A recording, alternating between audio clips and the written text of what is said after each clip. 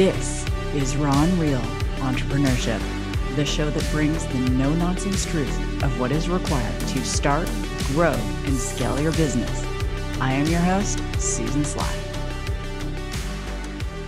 Well, hey, what is up, and Real entrepreneurs, wherever you are in the world? I hope you are having an incredible day. And like many times before, this particular founder and I started a whole bunch of conversations.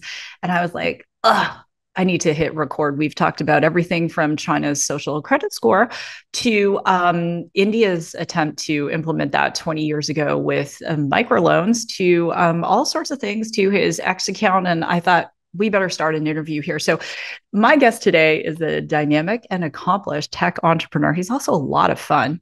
And throughout his career, he has assumed diverse roles, including enterprise marketing, product management, VC portfolio advisor, and growth officer.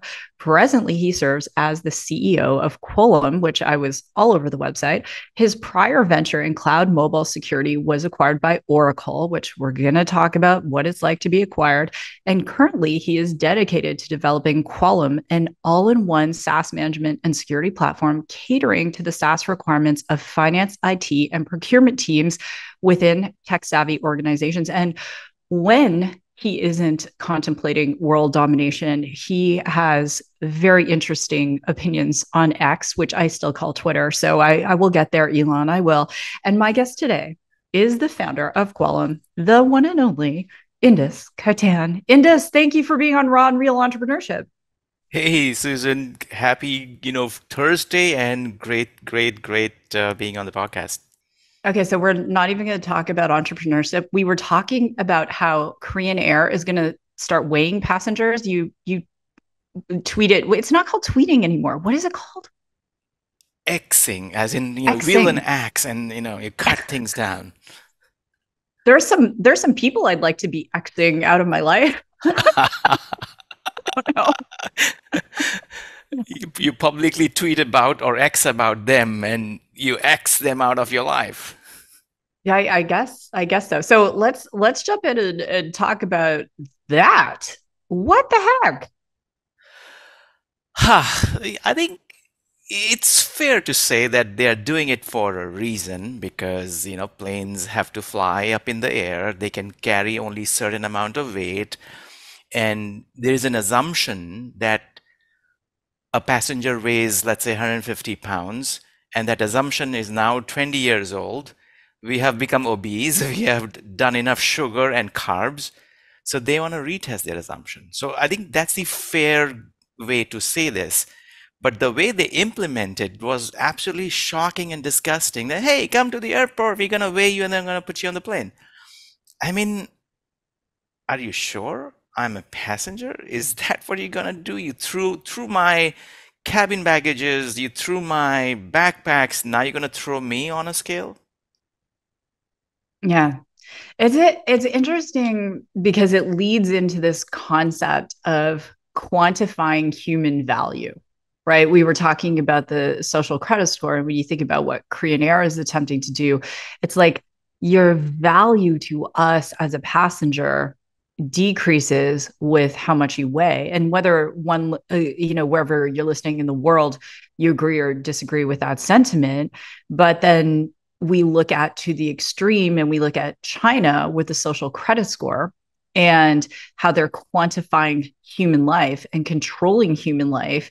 And you you and I were talking about how in India they attempted to do this 20 years ago. And could you could you share that since we have many listeners in India, they'll probably say, oh, yeah, we remember that. So, this whole concept of micro lending or micro loan came into existence 20 years ago. And to just give a prologue, India doesn't have a credit rating or a mature credit rating, credit profiling system, risk management for an individual, not for a business. It has starting to happen, but not as mature as the United States. Of course, I can complain about the the the other dark side of the credit scoring system in the United States is a different topic.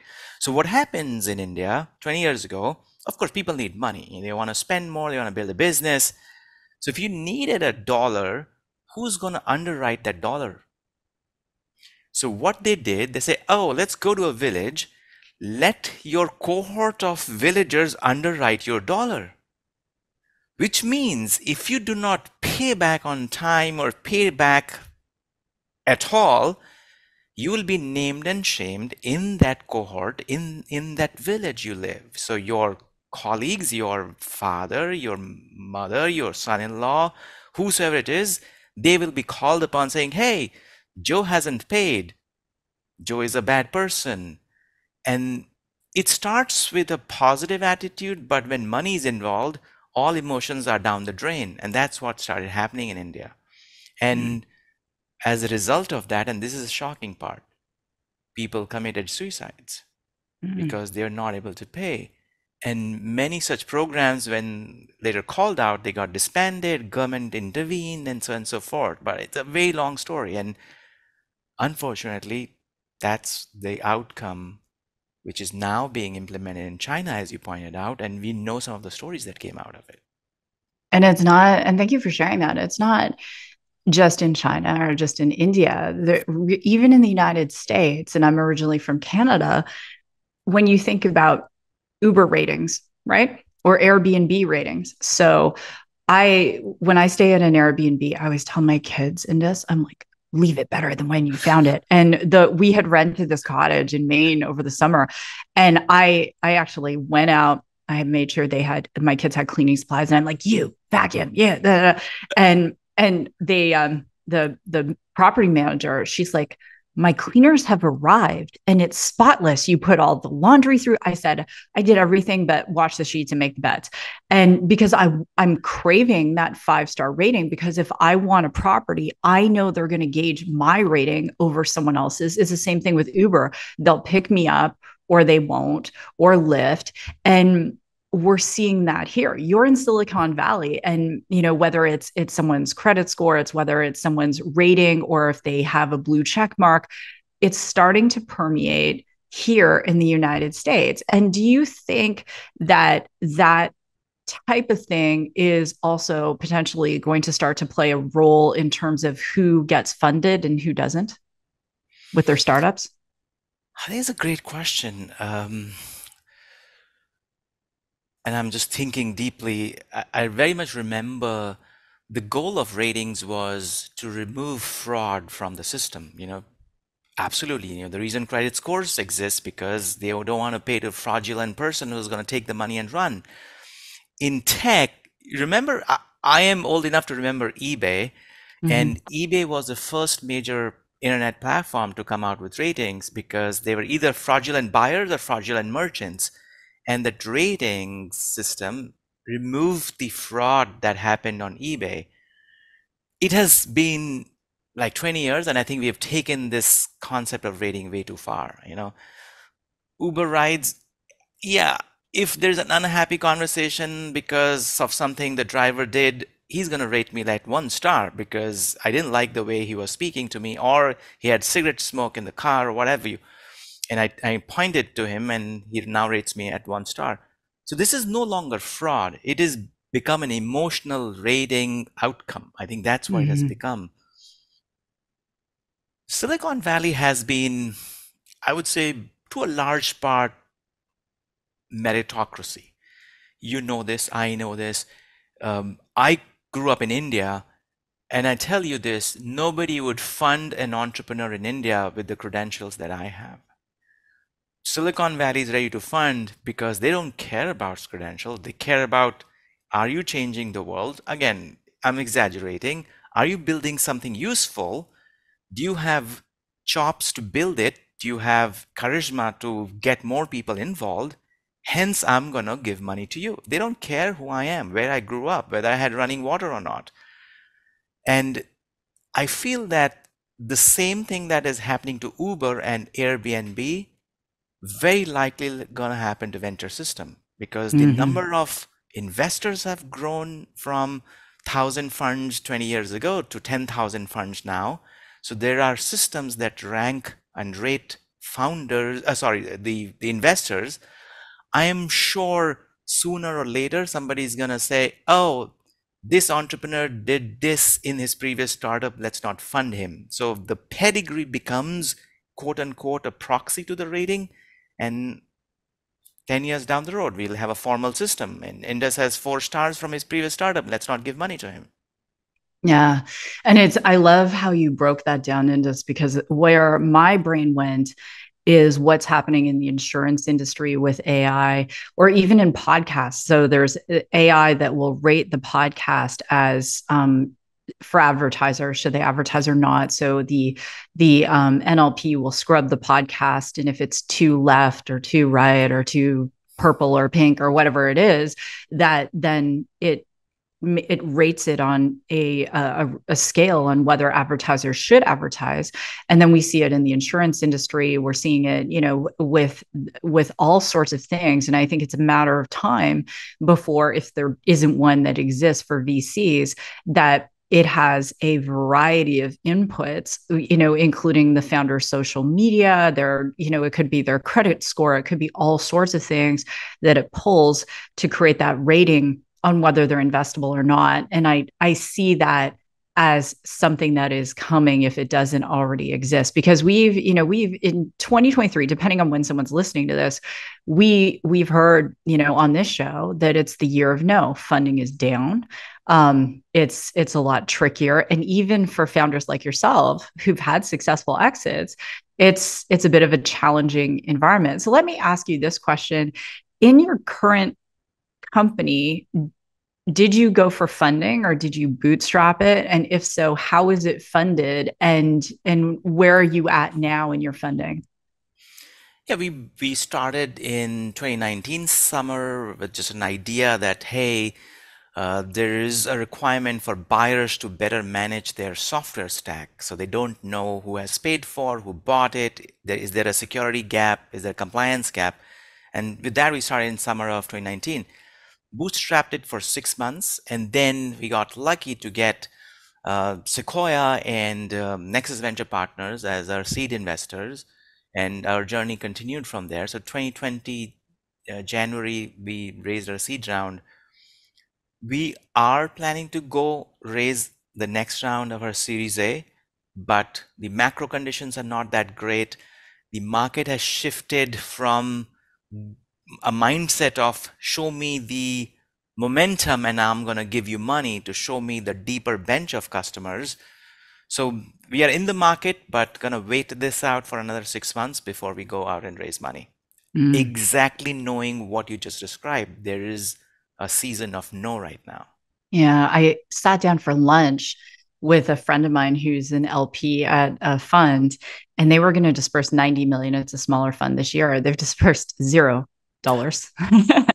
and and and he, said exactly the same thing you know they don't know what the the climate is going to look like and they're not anticipating anything turning around until maybe q2 um, and because it's raw and real entrepreneurship you know we're we're having um, different you know economic thrusters that are either going to be favorable or unfavorable and it's it's almost like um, Roman gladiators. Like if you can survive this season, then you can grow a company. When we look back at the the great recession in and and you know look at the companies that came out of there in terms of uber and airbnb as mentioned and instagram and all sorts of unicorns and and they were able to survive. So i i see exactly what you're saying. And vcs are asking um, you to run leaner.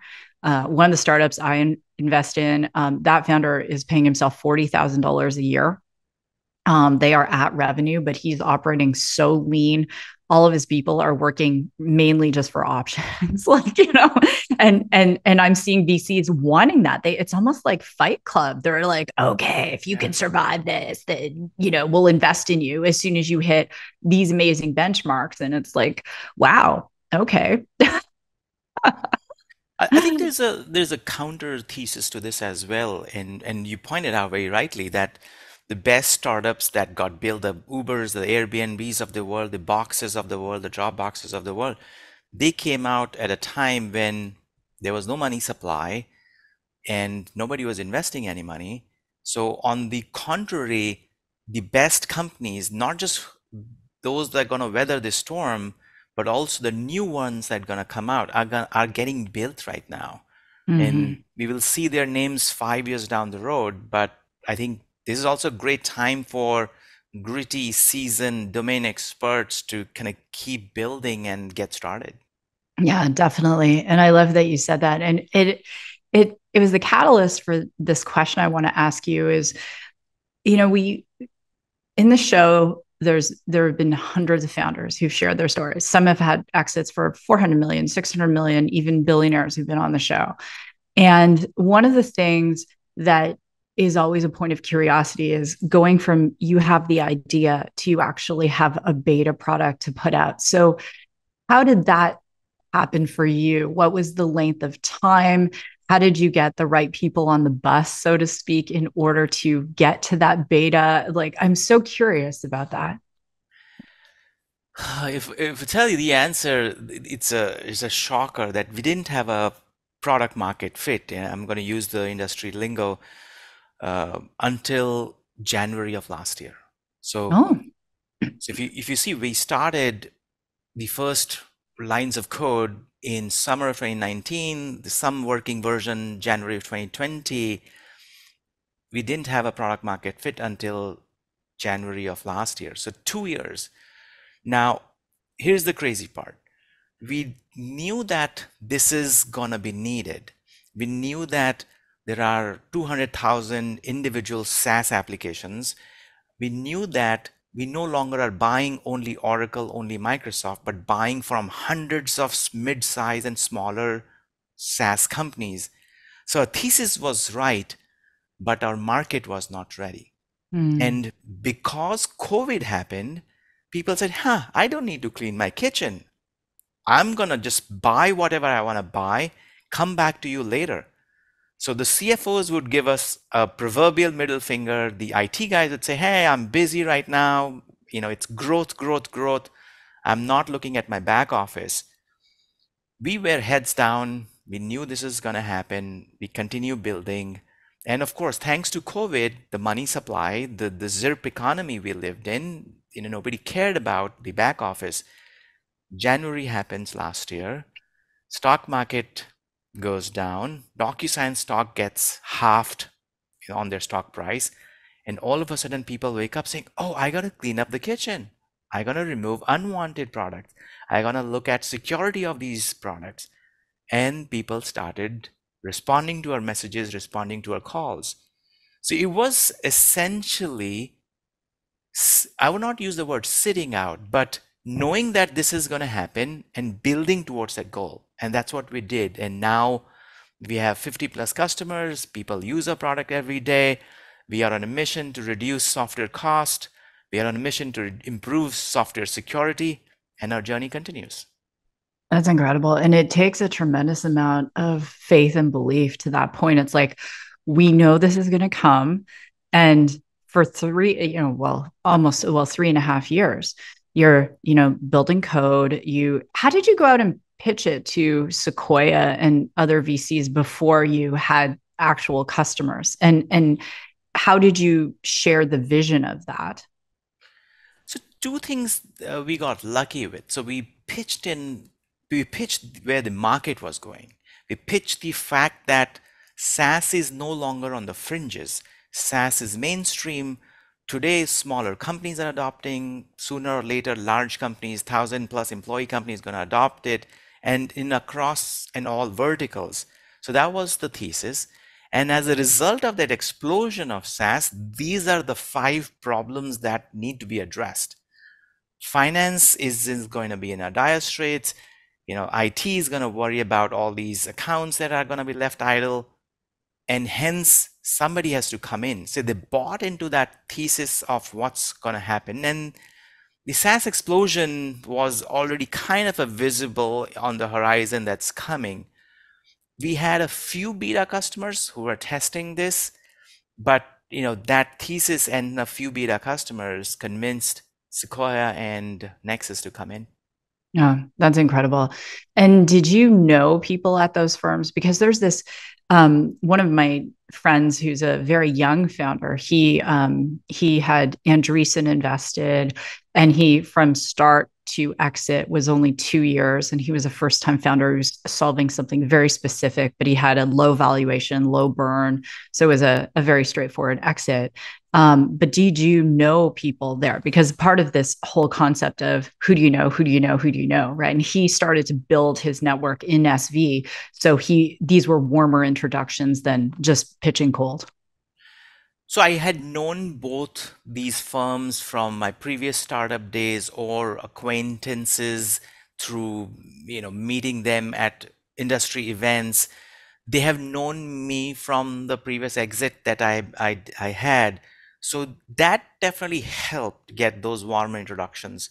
And and this is the tale about Silicon Valley that most of the investors are at least one or two hops away. And those warmer introductions, even if you don't know anybody, helps. In at end of the day, they're betting on the market, the product that you're building, and the capabilities of the individual. If they know you, that risk is adjusted, saying, oh yeah, this guy has done something. If they don't know you directly, somebody else is saying, oh, I'm introducing you to this founder. He sold his previous startup or started a business or is doing something incredible. That takes you the same level as some knowing somebody from the past. Mm. The speaking of Silicon Valley, we were talking before we went into recording and, and you mentioned something about Silicon Valley. So we have people listening all over the world to the show. So what is one myth about Silicon Valley that is not true? And what is one that is true? Great question. So one myth about Silicon Valley is Silicon Valley equals San Francisco, the mm-hmm. city. It is a myth. Silicon Valley is an expansive 50 square mile neighborhood. And I use the word neighborhood because people are connected, they work in common companies and all of that. So it is not San Francisco. San Francisco is a small part. I live 35 miles southeast of San Francisco, the city. And the city I live is a is a it's called Dublin, Dublin, mm-hmm. California. It has the headquarters of the largest SaaS company, Snowflake. Now, when you think about Snowflake, people say, yes, Snowflake, San Francisco, Bay Area based, and they think they're based out of San Francisco, the city. No, they're based out of the suburbs of San Francisco, far removed from the downtown. That's the myth. And, you know, we are like factory workers, you know, living in bedroom communities. And then our factories are all over the neighborhood. That's the myth, not the downtown, but the whole 50 square mile radius.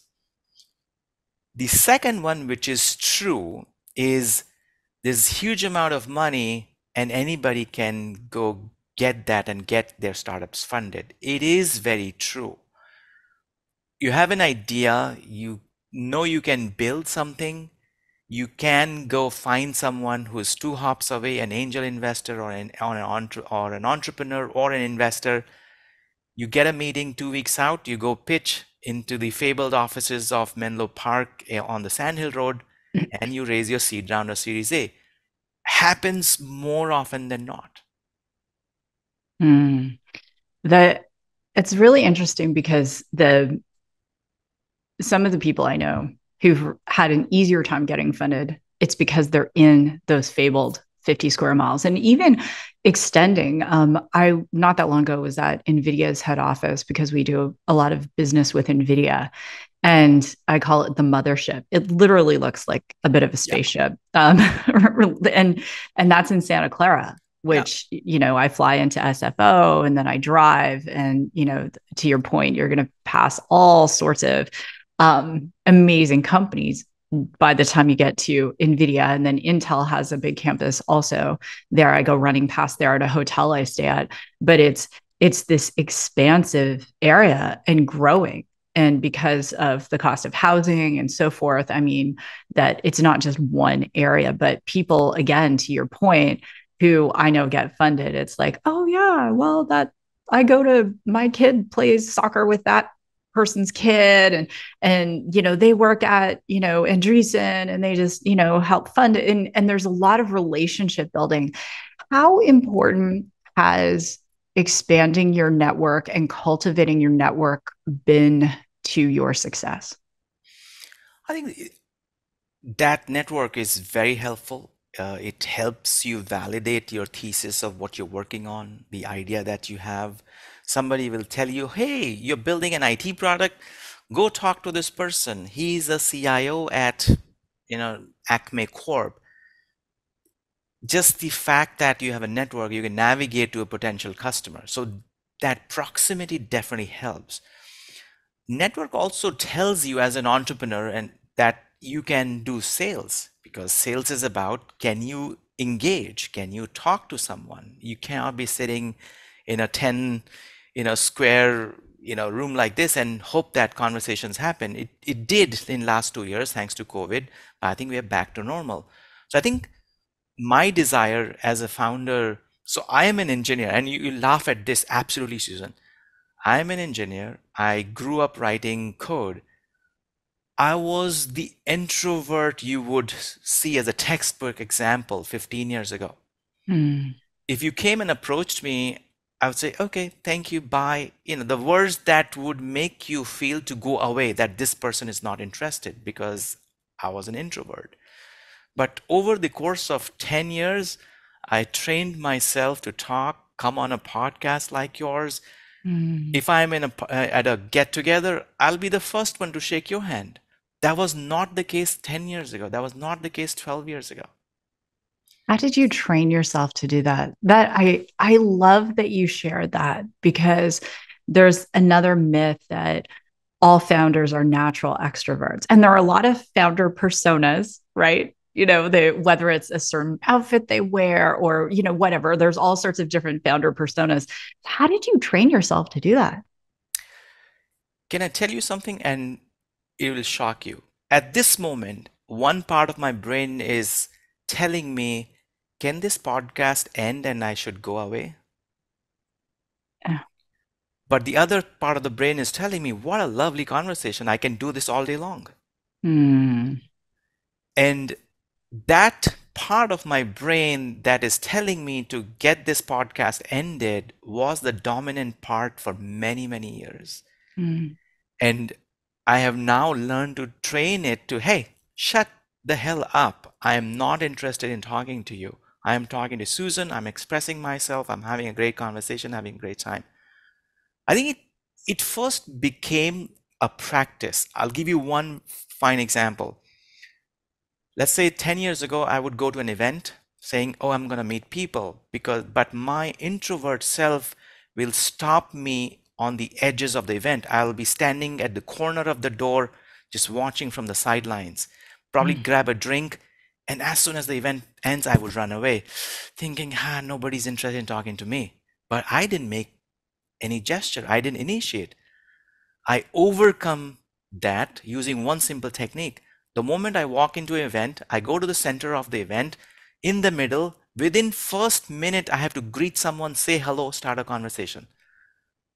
I basically practiced that as a physical exercise to convert me, to train myself. Mm-hmm. And now it has become a second nature. I walk into an event, I say, hey, Susan, how's your day? We have never met. This is Indus. How's your day going? Wouldn't have happened 10 years ago. You just healed thousands of people around the world in this for sharing that. And that's why we call this raw and real entrepreneurship because there people think like you that they would think oh she, susan's a natural extrovert i've had times um, i remember one time i was in las vegas and i was speaking on stage in front of 20000 people and afterwards i went backstage and you know everyone was like oh that was amazing and and i literally took a shot of tequila gave everyone a hug because I was shaking. I went back to my hotel. My husband was with me and I didn't speak to him for 3 hours because it I had to it was like um it it it takes a lot of energy. And even for the show when i was um, in 2020 i had gone back to school at mit and i was like i know i need to network but we're all locked in. So you know what am i going to do? And i used to do media a very long time ago. And i was like i'm going to I'm going to start my show and I'm just going to have conversations with founders. And I really don't care how many people listen to it. I just want to have a conversation like it's two of us having coffee or cocktails with this whole notion that anyone can be an entrepreneur, regardless of what the roadblock is. And so thank you for that. I feel like it, you know that that was just so healing. That it was like that the beautiful like I don't know that that beautiful sound heard around the world. Thank you for that. Absolutely. I'll, I'll just add one last, uh, you know, soundbite, and you'll love this. I face exactly the same thing as you're facing, you know, after a large event. And so I come home any day, and uh, my wife is going to say, Hey, go take a shower and remove that theater from your head.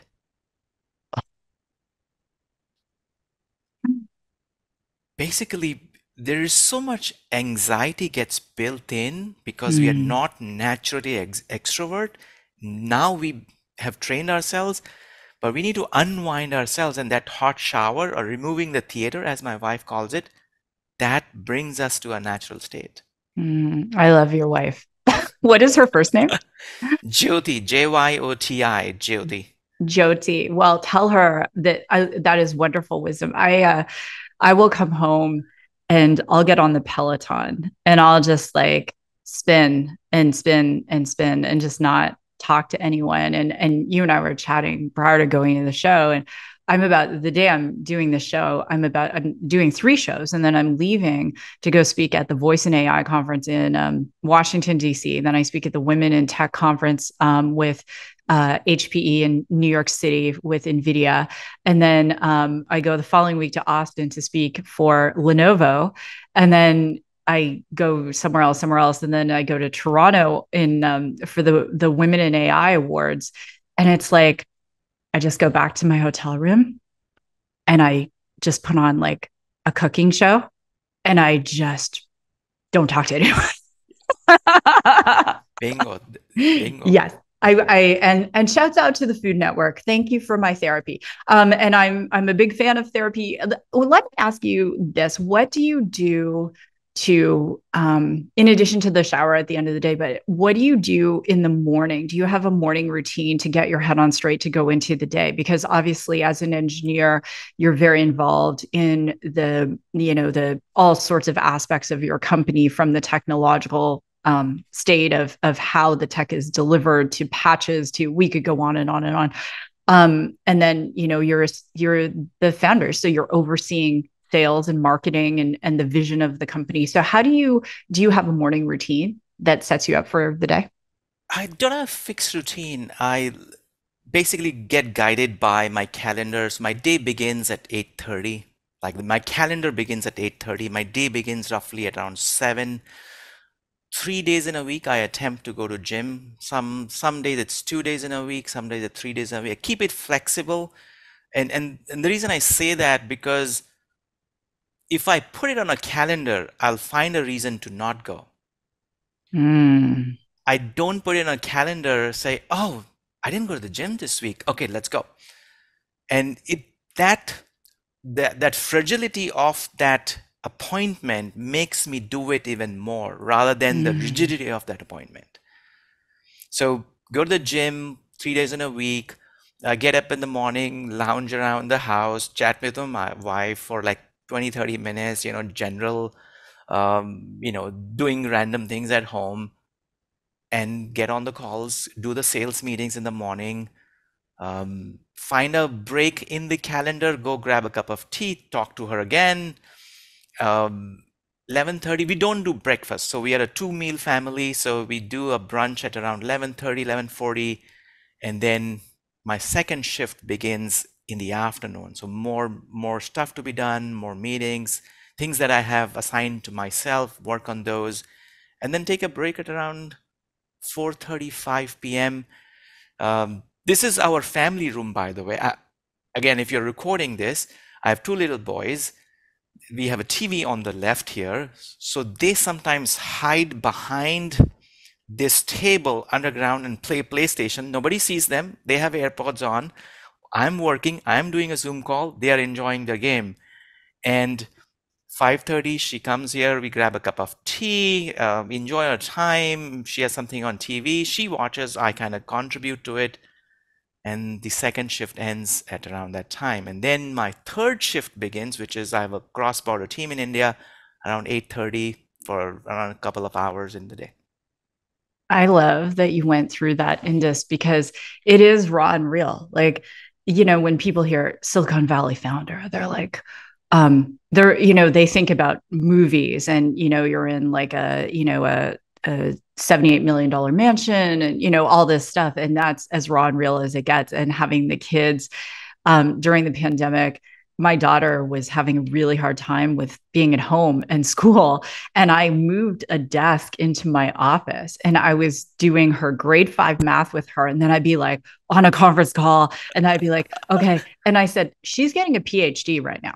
She is an MBA. She's getting a PhD. She's learning about edge computing. She is learning edge to cloud. She is learning IoT she is learning AI. She is learning everything in addition to her grade five math. You know, like she was learning it all. And I love that you said that. I have a final question for you. You know, you you've had this exit, you're building this new company, and Wayne Gretzky, great Canadian. I'm from Canada. Um, I know you love cricket, so I'm going to use a hockey analogy because I can't think of a cricket one. Um, Wayne Gretzky said, "You skate to where the puck is going."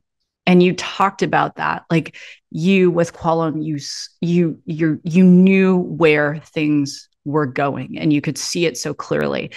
And yet hindsight is also 2020 so if you could go back in time is there something that you would have done differently you know give advice to entrepreneurs whether they're in nigeria they're in india they're in the uk wherever they are listening what is something you would have done or you wish someone would have told you like in this, do this and you wish you would have known? I wish i knew covid was coming. I would not have started during covid. That i would definitely i would have done you um, and billions of people wish they do that I would have just happily taken time off, worked remotely, you know, traveled around the world and not worry about the startup that I am. Jokes apart, irrespective, it was a great time to start.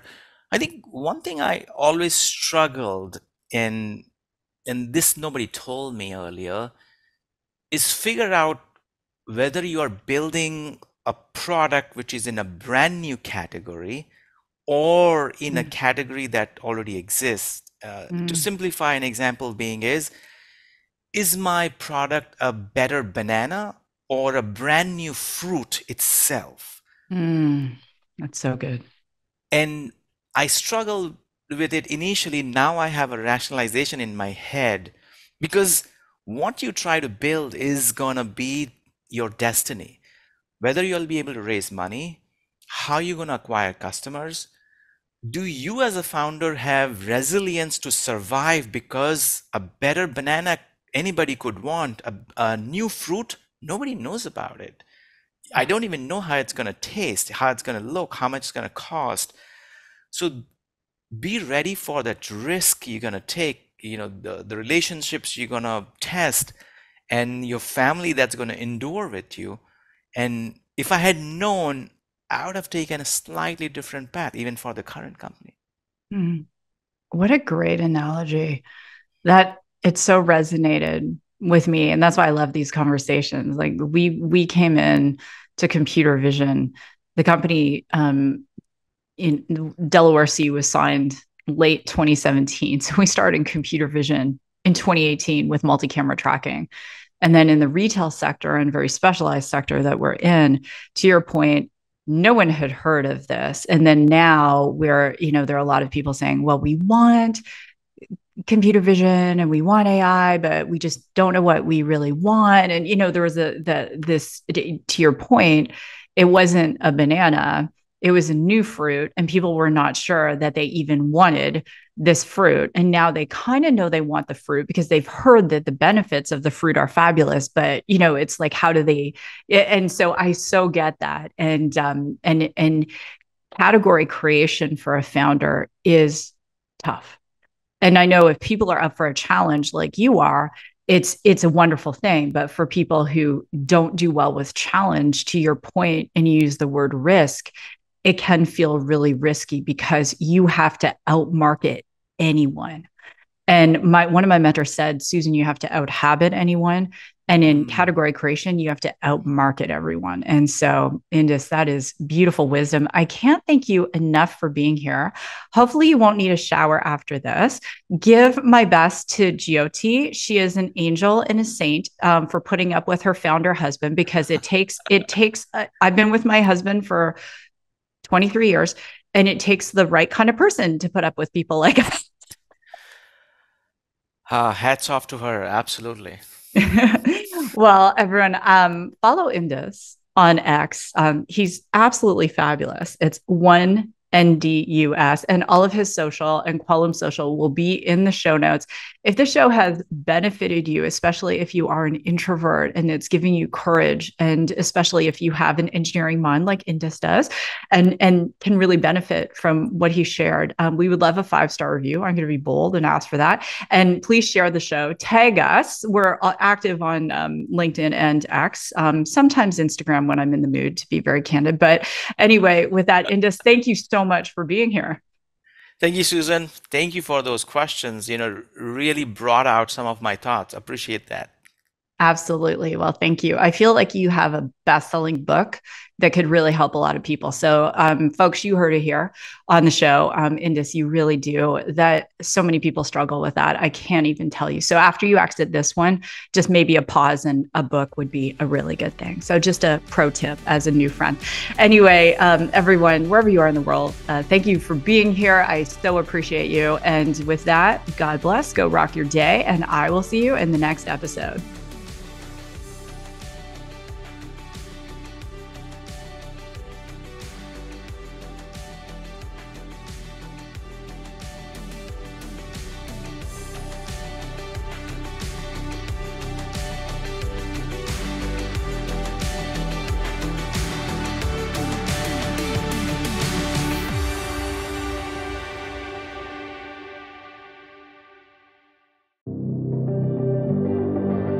Are you currently an employee looking to start your own business? Maybe you've been thinking about it for a while and you're just not sure where to start. Well, my course, Employee to Entrepreneur, combines my decades of experience as an entrepreneur with proven methods, techniques, and skills to help you take that leap and start your own business. This course is self paced, learn on demand, and comes with an incredible workbook. And that will allow you to go through this content piece by piece by piece, absorb it, take action, and then go on to the next module. So check out my course on susansly.com, Employee to Entrepreneur.